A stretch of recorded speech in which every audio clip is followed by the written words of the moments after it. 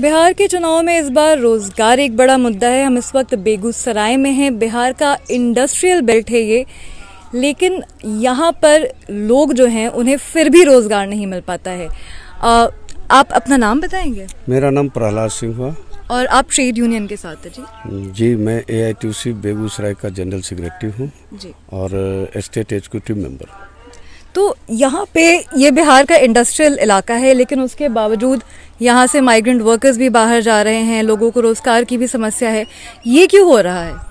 देखिए अभी यहाँ बेगूसराय ज़िले में लगभग साठ हज़ार करोड़ का प्रोजेक्ट यूँ कहा जाए तो वो चल रहा है चाहे रोड फोर लेन का सवाल हो या एनटीपीसी के अंदर हो या फर्टिलाइज़र के अंदर हो या रिफाइनरी का।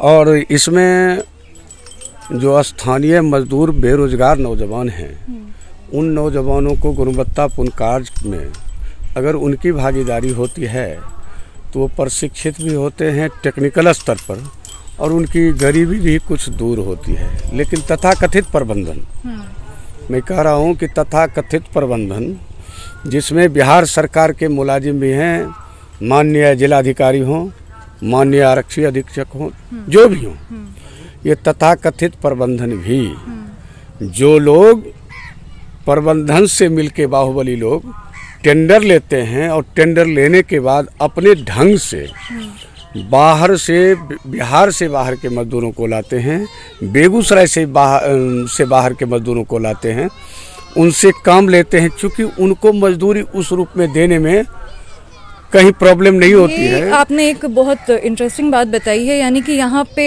बिहार में इतनी आ, समस्या है एम्प्लॉयमेंट की लेकिन उसके बाद बाहर बाहर से मजदूर आ रहे हैं बिल्कुल। यहाँ बेरोजगारी का सवाल है पढ़े लिखे ये नौजवान दिख रहे हैं ये बेरोजगार नौजवान है। इन हाथ को काम मिलने के बजाय खाद कारखाना हो या रिफाइनरी हो इन हाथ को काम मिलने के बजाय ये लोग बेकार बैठे हुए हैं। बाहुबलियों के इशारे पर फर्टिलाइज़र तो ऐसा क्यों होता है कि बाहर से आ रहे हैं मजदूर? इसलिए होता है ऐसा कि ये मजदूर रहेंगे तो ट्रेड यूनियन मेरे जैसा जो ईमानदारी से यूनियन का काम करता है मजदूरों का काम करता है मजदूर हक के लिए दैनिक मजदूरी में जो सरकारी रेट है उसके आधार पर भुगतान करवाने के लिए संघर्षरत रहेंगे। लेकिन बाहर से जो मजदूर आएँगे जिस रूम में आप रख रहे हैं तो उस रूम में उसको रखिए काम करवाइए और काम करवाने का जो देना है उसको दीजिए। और यदि वो मुँह खोलता है तुरंत गाड़ी में बैठा के उसको विदा करिए कहीं से कोई डर से बोलने वाला नहीं होता है। इसका लाभ विभिन्न तरह के संवेदक कंपनी को मिल रहा है और इसका पोषक इसका मददगार। जिला प्रशासन भी है। चूँकि जिला प्रशासन से जब मांग की जाती है विभागीय स्तर पर मांग की जाती है कि हम स्ट्रगल के लिए तैयार हैं यूनियन नेताओं सहित मजदूरों पर भी प्रशासन के द्वारा दबंगता पूर्वक कार्रवाई करने की बात होती है। लेकिन हम लोग संघर्षरत हैं संघर्षरत रहेंगे। मुझे कोई फ़िक्र नहीं है कि मजदूरों के सवाल पर अगर जान भी देना पड़े तो जान देंगे। बेगूसराय ज़िले में स्थानीय मजदूर जो इंडस्ट्रियल इलाके के बगल में हैं, उन मजदूरों को कार्य में भागीदारी सुनिश्चित करने के लिए यहाँ से एक सौ तैतालीस तेगरा विधानसभा के विधायक जाएँ, जीत करके जाएँगे। पहला सवाल भी होगा और मैं समझता हूँ कि यहाँ हम लोग भी संघर्ष के लिए।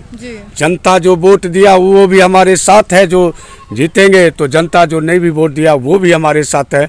हम उनके सवालों को लेकर भी संघर्षरत हैं संघर्षरत रहे तो आप ट्रेड यूनियन के साथ हैं यहाँ पे जो लोग काम कर रहे हैं जैसा आपने बताया काफ़ी लोग तो बाहर से कुछ स्थानीय लोग भी होंगे। आ, क्या उन्हें डेली वेजेस मिल पाते हैं? उनके काम करने की स्थिति कैसी है? क्या रेगुलेशंस जो सरकार के हैं वो उसका पालन किया जाता है?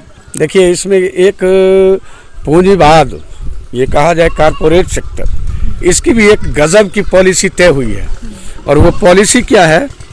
कि उस पॉलिसी के अंतर्गत जब चार सौ तीन रुपया मजदूरी है, न्यूनतम, भारत सरकार का चार सौ तीन रुपया मजदूरी है तो उस चार सौ तीन के जगह पर बारह घंटे वर्क लेकर के उसको मात्र बारह हज़ार, तेरह हज़ार रुपया उसको फिक्स किया जाता है कि तुम काम करो फिक्स में, न उसको बोनस देना है।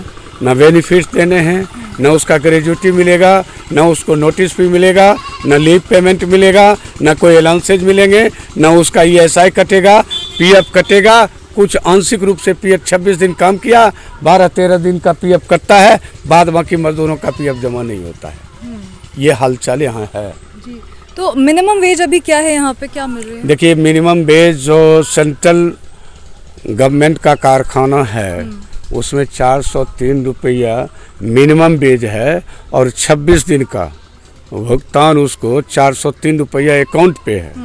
लेकिन मजबूरी है संवेदक अकाउंट में पेमेंट करता है तीन हज़ार रुपया उससे रिटर्न लेता है। बेरोजगारी का सवाल है।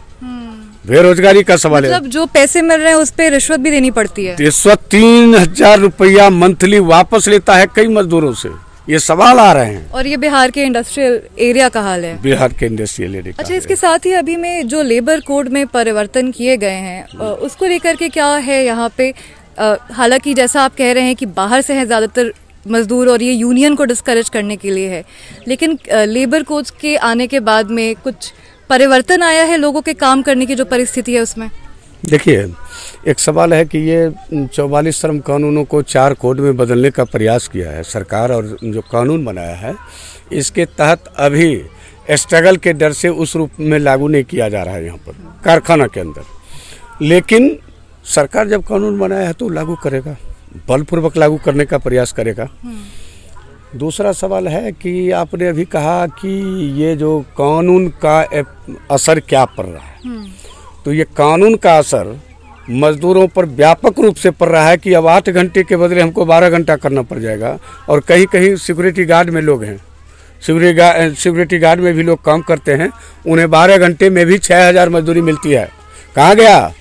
श्रम विभाग कहाँ गया? जिला प्रशासन कहाँ गया? कौन इसको देखेगा? कौन इंटेलिजेंस है देखने वाला? अगर ट्रेड यूनियन का लीडर नाम बताता है उस पर तो वो कहता है कि मजदूर को किसी तरह से मोबिलाइज कर लो यूनियन का काम खत्म हो गया। अरे तुमको दिए छह महीना का छः छः हज़ार रुपया। चलो एक महीना दस हज़ार ऊपर से दे देते हैं। मजदूर भी बेरोजगारी का आलम है चुप हो जाता है। ये सवाल है। इसलिए इस सवाल पर बारीकी से लड़ने की आवश्यकता है। प्रशिक्षित मजदूर जब होंगे और कानूनों को जब समझेंगे तो स्ट्रगल होगी और स्ट्रगल वह क्रांति का रूप लेगा। जब क्रांति का रूप लेगा तो निश्चित रूप से परिवर्तन होना है। तो भले ही इस बार चुनाव में रोज़गार एक बड़ा मुद्दा हो बिहार के इस इंडस्ट्रियल बेल्ट में मजदूर बाहर से लाए जा रहे हैं और स्थानीय लोगों को रोज़गार नहीं मिल पा रहा है। अंजलि ओझा गो न्यूज़